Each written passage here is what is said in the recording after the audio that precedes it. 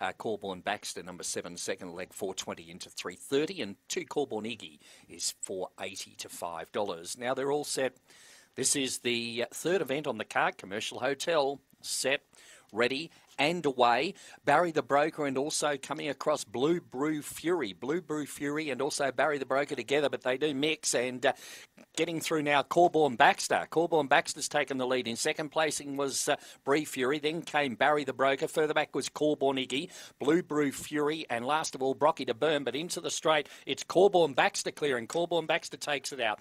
Corborn Iggy or uh, out wider on the track there. Uh, Barry the Broker for the minor end of the prize. Then came further back was Bree Fury, Blue Blue Fury, and Brocky to Burn back towards the rear. Wait our placings.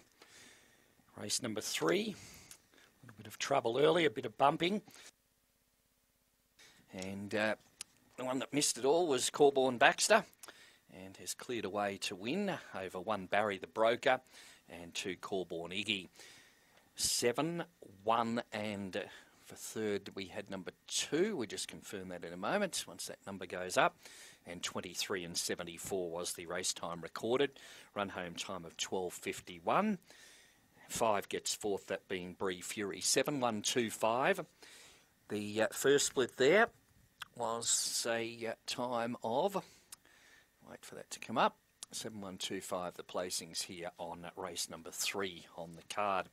That uh, winner that first split of 11.23 for an overall of 23 and 74 run home time of uh, 12.51. Four and a half lengths the winning margin with a head between second and third.